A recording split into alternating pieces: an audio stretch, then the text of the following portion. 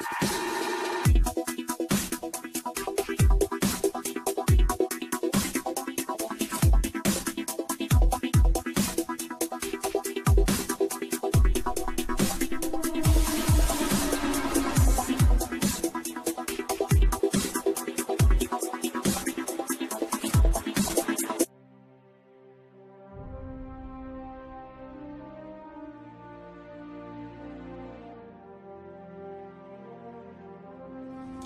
I want you to listen to me real close, especially to the kids and to the younger generations who are growing up out there in the streets, in the game.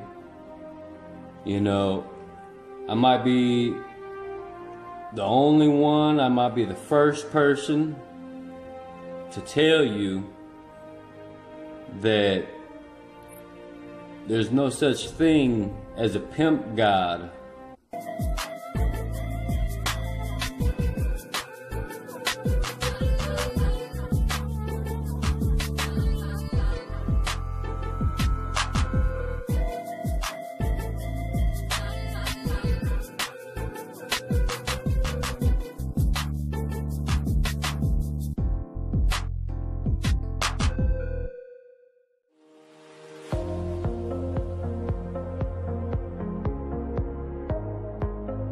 You might not think that I know what I'm talking about. You know, who's this guy?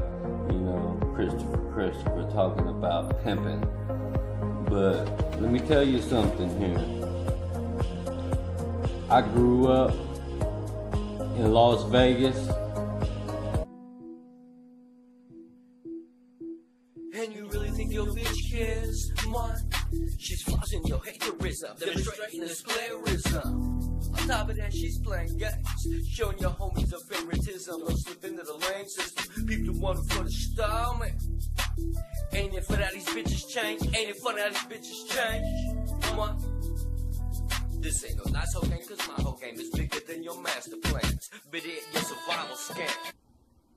Was raised up in the game.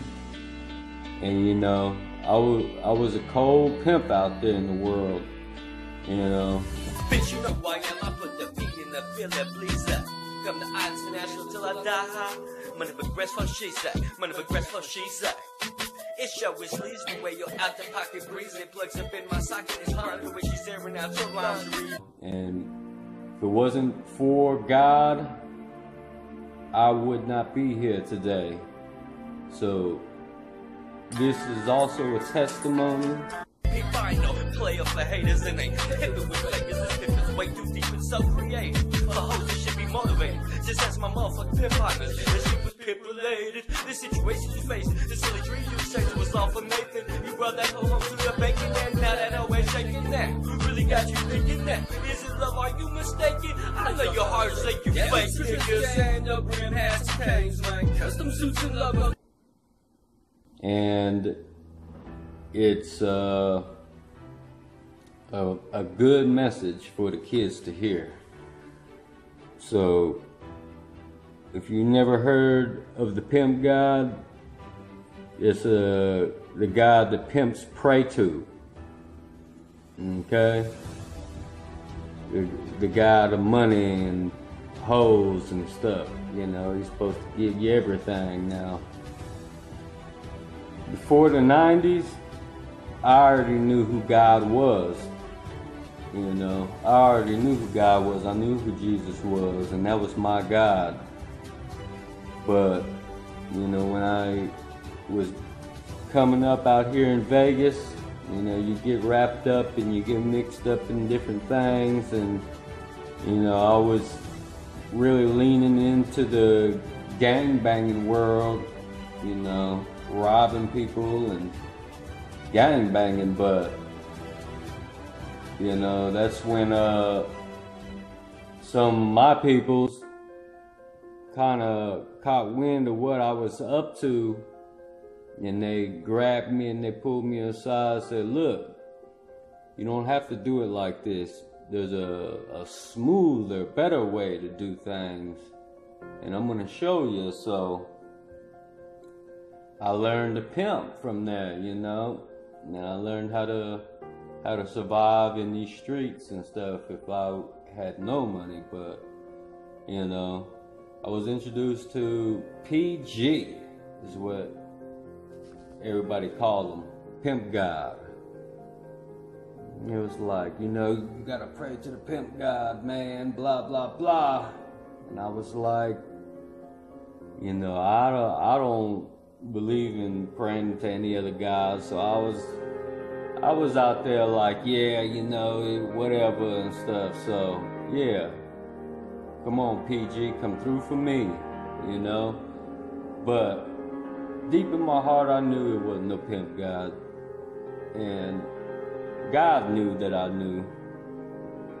But God always had His hand on me no matter what I was doing, no matter where I went, you know, I always felt God's protection over me, you know. But uh man, you know, it's it's a deep game and stuff and it's very deceptive.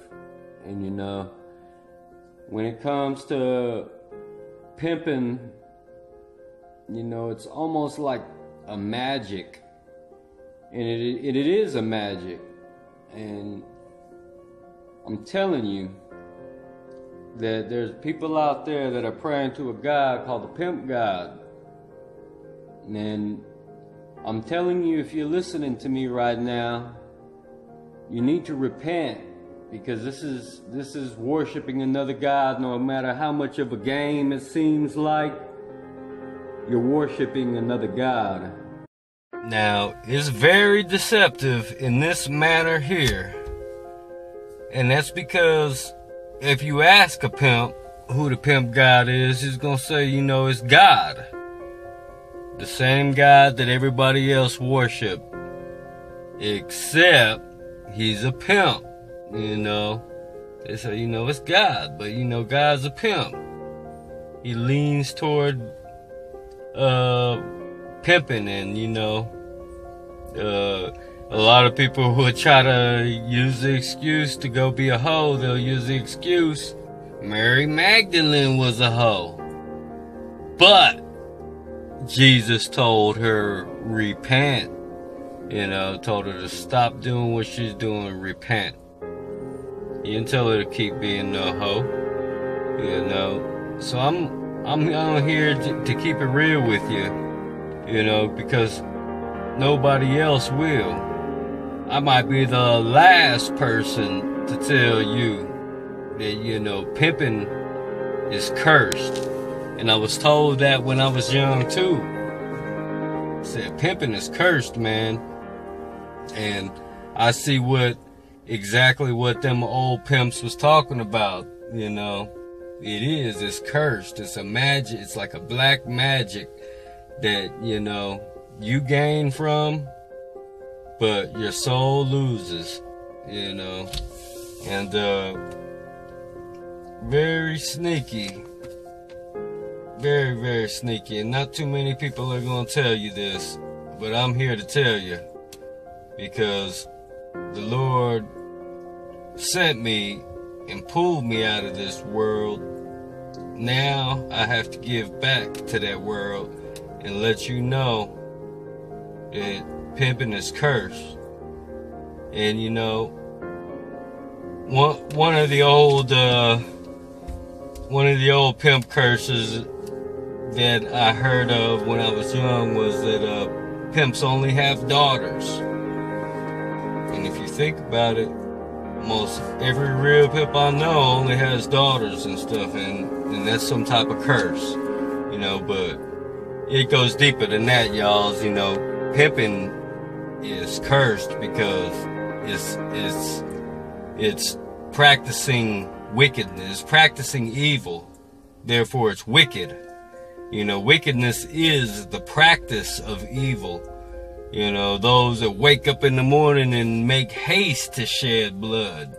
You know, just like the Bible talk about all through the proverbs you're gonna you're gonna hear about wisdom you're gonna hear about those that make haste to shed blood you know fools you know, and how they despised wisdom. So listen to the wisdom I'm trying to give you right now, y'all. You know, I know this message is ain't ain't for all of you, but you know, this is for a certain few, and I know you're watching right now. So please hear me out. And you need to repent. You know, I was pulled out of the game by God Himself.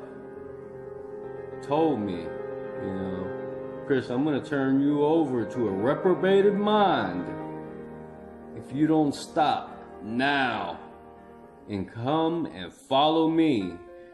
And I've been following the Lord ever since. I dropped everything and people didn't know what was going on with Philly Blunts, you know.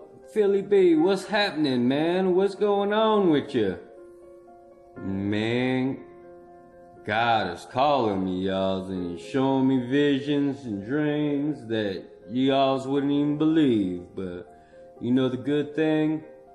Didn't nobody disrespect me, didn't nobody talk bad about me or anything when I gave up the pimping and started following the Lord you know, I they actually supported me, and that was a good thing. You know, so when it comes to pimps, you know, it, it's such a fine line to the world about pimps because you know they could be portrayed as superheroes, or they could be portrayed as straight demons. You know what I'm saying? But like uh, me, I was a real smooth pimp out in the world and stuff, you know. I wasn't trying to put my hands on girls, uh, you know. If I couldn't talk you into doing something for me, and I wasn't gonna beat you into doing it for me, we call those gorilla pimps. But you know, this message is not about learning about pimping and stuff. It's it's about the world that I lived in and and how God pulled me out of the world. And you know, it's it's such a dangerous game to play. It's because you're actually, you know, it's like it's like uh, you're in the devil's shoes yourself, you know, and you walk up and down the strip or wherever you're at, you know, going to and fro, seeking whom you may devour. And I was looking for every beautiful woman in the world I could devour. And I'd do my best and, you know, I never forced anybody into anything, you know. It was always something that they wanted to do. But, you know, God is so good and his mercy, you know, his mercy is is beyond belief and stuff, you know. And uh, I just wanted to tell y'all that you know this pimp God is is it goes deep, and you you know you might hear about you might hear from pimps themselves say, oh pimping's been around since the beginning of time and stuff. And you know what? It has. It's been around since or the beginning, you know, with the fallen angels and stuff. And like, you know, if you read into the book of Enoch, uh, in the book of Enoch, it talks about all the different things that that the angels, uh, you know, taught to men, the fallen ones, what they taught to humans and stuff, and everything from weapon making to to casting spells and stuff, and you know that's where we get a lot of our a lot of this cult knowledge and stuff. You know, these Illuminati's are following practices of fallen angels that they were taught. But let me, uh, excuse me one second.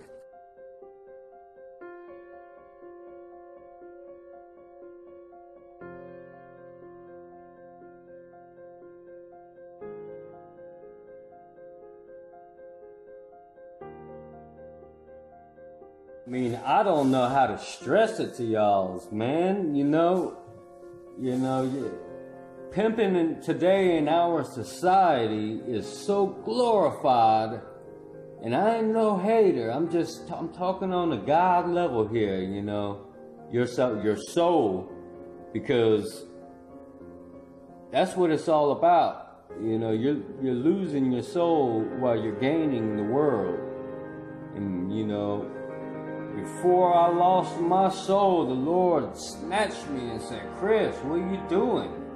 What are you doing, man? Come up out of here and stuff, you know, get get yourself together and get back in the Bible. You know. And I'm telling you, I was I was a real pimp. I was out there back in 1996 and stuff, you know what I'm saying? When I was just a teenager 15 or 16 or something like that, you know. You know, I had one too many people talking about being a pimp back then, you know. And I was with hanging out with all these older cats, these vet pimps and stuff, you know. And it was just like, man, I just I, I learned the game so well and I played it so well with the world and stuff. I had absolutely no reason to stop doing what I was doing. I had no reason.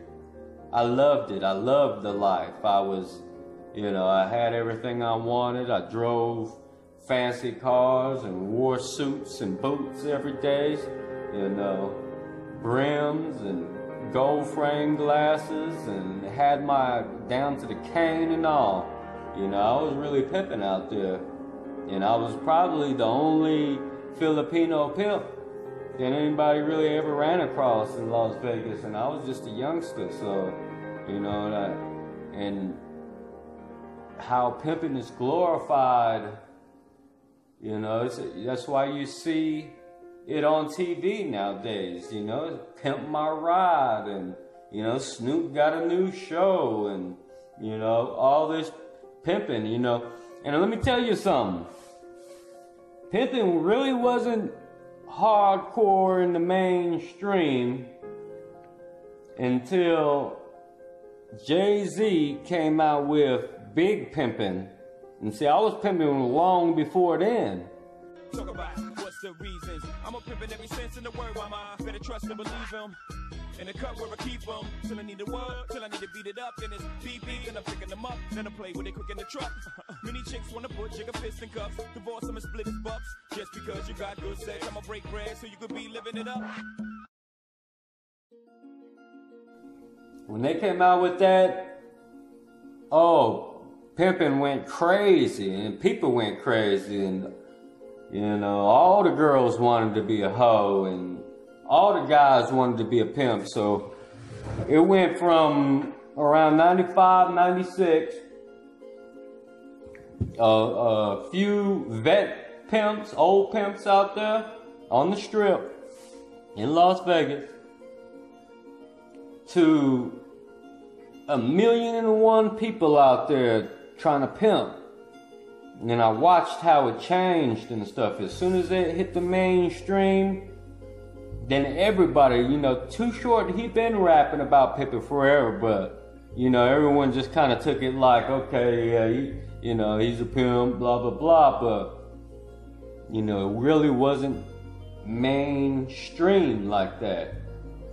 But when it hit mainstream, everybody wanted to be a pimp. Snoop went from selling dope and stuff and gang banging and with Master P and them he got rich and bam, he called himself a pimp as soon as he saw it. And look, he's like the poster child for pimps now out. Bishop Don Magic Juan. Church! Uh, about a week ago. Incredible interview. Um, the one thing he said, because you know, in the in your movie, you mentioned the whole, you know, how you actually got into pimping and stuff like that. And the one thing that I talked to Bishop was that, you know, he said a lot of people thought that he pushed you into that. But in fact, he was saying how he told you to go back with your wife. Him, him, Minister Seymour, and a couple of other real pimps kept it 100. They they didn't want that for me. but I wanted that. I was like, I was a kid, and um, I dreamed of being a pimp like my whole life. Like that was all I seen as a kid was a nigga with his nails done. He had a light blue suit on with seven bitches, and they all had on baby blue like him. He had a baby blue Cadillac. When he jump out, they open the door. That y'all just seeing on uh, on the on BET and listening to on the radio. All these people that have sold their souls, and that's why you hear them with their little subliminal messages about the Illuminati or doing the little gestures and the, the eye and all that. You know, it's them. It's them showing you and stuff. Yeah, they're a part of the devil's little clan too. You know, but it's really serious, y'all, because it's only so much time left, and I think God pulled me out at a, at a time where I'd tr- be able to change myself and still have time to help others that are lost in the world get out of it. You know, you you ain't stuck in the game. You know, I don't know who you're hanging out with. I don't know who the the kids are in your life that are influencing you, but you got to get away from them too. You know, it's a it's a lonely walk when you start walking with God, but you're really not lonely. It's a you know God's with you. There's so many saints that that have you know been on different paths too, and and are walking upright today, I should say you know. But man, the pimping y'all's it, it it's demonic. It was it was taught by the fallen angels. Let me just tell you like where and stuff, right? In uh in the book of Enoch, I I believe this is chapter they have in Roman numerals IX. What is that? Six? IX, whatever that is. And then Michael, Uriel, Raphael, and Gabriel looked down from heaven and saw much blood being shed upon the earth, and all lawlessness being wrought upon the earth. And they said one to another, The earth made without inhabitant cries the voice of their crying up to the gates of heaven. And now to you, the holy ones of heaven, the souls of men make their suit, saying, Bring our cause before the Most High. And they said to the Lord of the ages, Lord of lords, and God of gods, King of kings, and God of the ages, the throne of thy glory standeth unto all the generations of the ages, and thy name holy and glorious and blessed unto all the ages. Thou hast made all things, and power over all things hast thou, and all things are naked and open in thy sight. And thou seest all things, and nothing can hide itself from thee. Thou seest what Azazel hath done, who hath taught all unrighteousness on earth, and revealed the eternal secrets which were preserved in heaven, which men were striving to learn. And Samaza or Samjaza, Samaza, to whom thou hast given authority to bear rule over his associates, and they have gone to the daughters of men upon the earth, and have slept with the woman, and have defiled, and the whole earth has thereby been filled with blood and unrighteousness Oh, I'm sorry, I skipped the part. And Samjaza, to whom thou hast given authority to bear rule over his associates, and they have gone to the daughters of men upon the earth, and have slept with the women, and have defiled themselves, and revealed to them all kinds of sin. And they have gone to the daughters of men upon the earth, and have slept with the women, and have defiled themselves, and revealed to them all kinds of sins were revealed, right? And the woman have borne giants, and the whole earth has thereby been filled with blood and unrighteousness. And now, behold, the souls of those who have died are crying and making their suit to the gate of the deeds which are wrought on the earth. And thou knowest all things before they come to pass. And thou seest these things, and thou dost suffer them, and thou dost not say to us what we are to do to them in regard to these.